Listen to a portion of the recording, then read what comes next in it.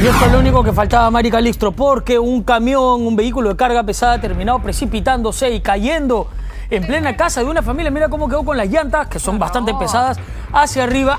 Yo te digo una cosa, Mari.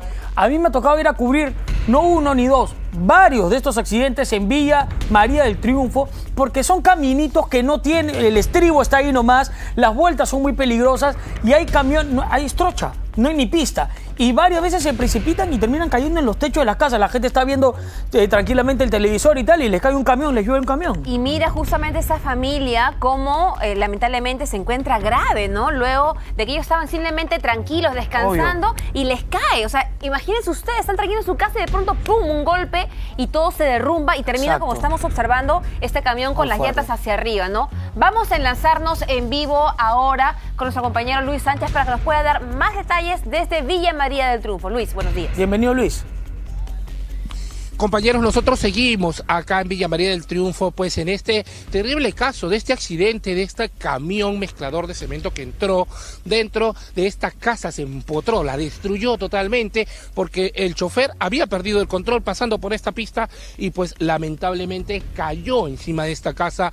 Tres heridos, uno de gravedad, ¿no? Y bueno, vamos a conversar con Merari porque Merari pues es uno de los miembros de acá de esta familia para que nos diga cómo se encuentran ahorita, por ejemplo, la pequeña también, ¿no? Porque es una pequeña de 10 años que también resultó herida y además también tu mamá.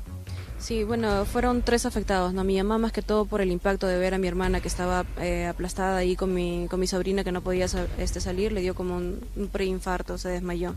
Y el estado de mi hermano ahorita todavía se encuentra en el hospital, este, todavía tengo que ir a ver para ver cómo ha salido la operación ya que ella estaba rota la pierna. Y de mi sobrina sí tiene varios cortes que ya está cosido, pero también está de alta. La única que se ha quedado ahorita es mi, es mi hermana. hermana, ¿no? ¿En qué hospital está? Eh, María Auxiliadora. María Auxiliadora. Me cuentas, este, Dira, ¿verdad? Dira es una de las vecinas. Dira, me cuentas que el chofer, mira, miren cómo ha quedado el camión. Y es increíble lo que me cuenta la señora Dira porque el chofer milagrosamente se salvó. Sí, el chofer, gracias a Dios, salió ileso. Incluso él estuvo ayudando para poder sacar a, a, Lady porque estaba todo el concreto ahí. Él estaba nervioso, sí. También lo llevaron al hospital porque dice que él perdió un rato la conciencia, pero trató de él como sea de colaborar como le indiqué hace un momento, ¿no? De milagro se ha salvado el chofer, pero realmente ha sido imprudencia de él y de la empresa, porque este lugar no está apto para que entren carros pesados. Vamos a ir porque me cuentan también de que este lugar, a ustedes les han dado la empresa, me cuentas, este, Merari, que la empresa les ha dado un lugar donde poder pernoctar nos han alquilado un lugar para poder este, estar ahí, pero lo que ahorita yo quiero es juntar a toda mi familia, porque como podrás ver, solo los adultos nos hemos quedado en este lugar. Eh, mi hijo, dos sobrinos están en otro lado, mis ¿Están ellos? Están en Lurín con mi suegra y otros bebés, eh, los más pequeñitos de cinco meses y de tres años, están con, con, su, con otra familia. Con otra familia, ¿no? nosotros ahorita nos estamos yendo, compañeros, les cuento acá al lugar que es el salón comunal, ¿no? El local comunal. Local comunal acá de este barrio, porque ahí se encuentra la mamá y la abuelita. Sí, sí, mi mamá, ellos dos se quedaron acá y nosotros con mi esposo y mi hermano nos quedamos en otro lado.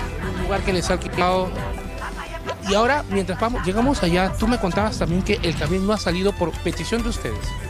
Claro, sí, en realidad no quisimos que saquen el camión ya que era una, para hasta poder llegar, ¿no? ya sea un tema eh, judicial o una conciliación. A un acuerdo porque obviamente pues ustedes necesitan de construir su casa, ¿no? Nos encontramos ahora, ¿cuál es el nombre de tu mami? Eh, Marieta Rivera. Con la señora Marieta. La señora Marieta ahorita se encuentra aquí pues parado de la abuelita también. Señora Marieta, ¿cómo está? Buen día. Eh, ¿Cómo se encuentra el día de hoy usted? Estoy, este, una penada, ¿no? De todo esto que pasó, que destruyó mi casa, que ahí adentro estaban mis nietos. A mi hija le han, sacado donde está enterrada, ¿no? Sus piernitas, todo está en el hospital ahorita, le han operado y no puede caminar. Y ella es madre soltera, tiene cuatro hijos. Y ella Ella con su chapapera de ahí afuera. Ella no siquiera puede trabajar ahora. Y todas nuestras cosas, todo, todo se ha destruido. ¿Cómo ocurrió el accidente? ¿Dónde estaba usted? Yo estaba, mi hijita estaba en la cocina con la otra mi nietita de nueve años. Ella también se accidentó, le han cosido sus piernitas, toda ella. Y mi mamá también. Y mi mamá y ya pues no, tiene 80 años y mira cómo está ella también, le da el derrame. Está asustada. Está asustada y te pone pañales. Y a ver si que por favor si nos pueden apoyar con pañales. Sí, ¿Qué es lo que pediría usted no solamente a las autoridades, sino también a las personas de buen corazón? Las personas que nos apoyen, ¿no? Con todo lo que ha pasado, ese accidente, ¿no? La verdad que nosotros no pensábamos. Ey, y ahorita estoy mal, de verdad. Me siento tan apenada de mis nietitos más que todo, ¿no? Yo quisiera que me apoyen. Que mi casita todo lo, al menos siquiera lo limpien, o si no lo construyan, sino dónde vamos a vivir ahora.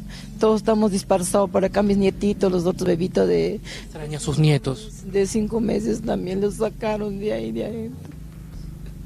Y eso es lo que puedo pedir, que me apoye. Con ropas o con frazada, lo que fuera, ¿no? Medicina, yo me pongo la insulina, yo soy una mujer Insulina. Sí. Diabética. diabética y también sufro la presión.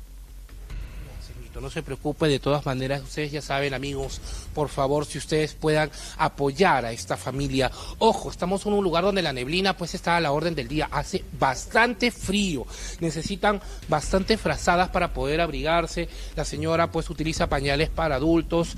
Estamos, ¿Qué más necesitamos? Eh, Merari, por favor, te pido que me acompañes y me cuentes qué es lo que ustedes necesitan ahora. Eh, como le comento ahorita, mi prioridad es poder juntar a mi familia porque la, solamente en esta habitación, que es el local comunal, pasó la noche mi mamá y mi abuela, ya que ellas salieron primero de alta. Y mi esposo y yo y mi hermano eh, nos pudimos dormir en un lugar donde la empresa había alquilado. Más que todo, ahorita lo que necesitamos es más frazadas, alimentos, eh, para poder pasar siquiera estos días hasta que la empresa pueda ayudarnos ahí. Un, un número, por favor, de ayuda, donde se puedan comunicar contigo para que puedan hacer llegar esta ayuda. Eh, mi número es 9, 963-973-221. Una vez más, por favor. 963-973-221. ¿También tiene ya Peplin? Sí, ese es mi número que tiene este. Entonces, por favor, hacemos un llamado a las autoridades, a la municipalidad del distrito y por supuesto a todos ustedes televidentes de buen corazón que puedan apoyar. Ahí están los números con lo que ustedes deseen. De repente quieren depositar esa cuenta de Yape o Plin o de repente quieren hacer alguna donación de algún víveres, algunos víveres que necesiten para esta familia o frazadas, pañales para adultos, insulina, todo es bienvenido, pues esta familia ahora necesita de todos nosotros. Listo. Uno está en su casa tranquilo, tranquilo, viendo televisión y de pronto, y de pronto eh, cae un camión, te cae un camión y la empresa no responde, no responde. Ahí estaban los celulares en el camión mezclador. Vamos a llamar a la empresa porque no puede ser que ocasione un accidente de este tipo y no respondan, no respondan.